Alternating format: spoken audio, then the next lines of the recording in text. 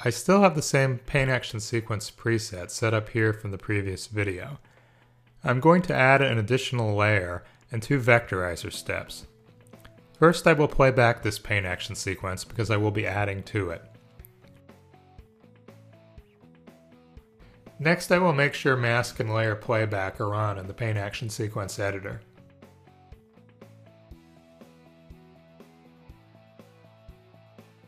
Next I will create a new layer 3. As you can see, when I created the new layer the canvas became blank.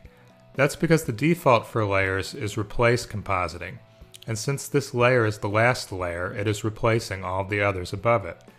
So I need to change it to a composite mode.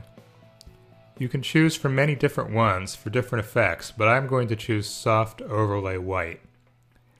Next I will make sure I am on layer 3 and also that recording is on.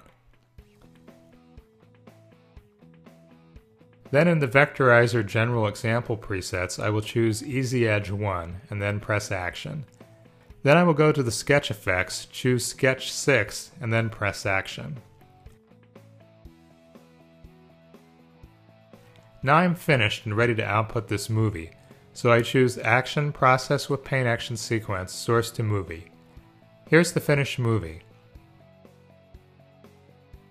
Again, try different vectorizer presets and layer compositing modes to get different looks with the traveling travel matte effect.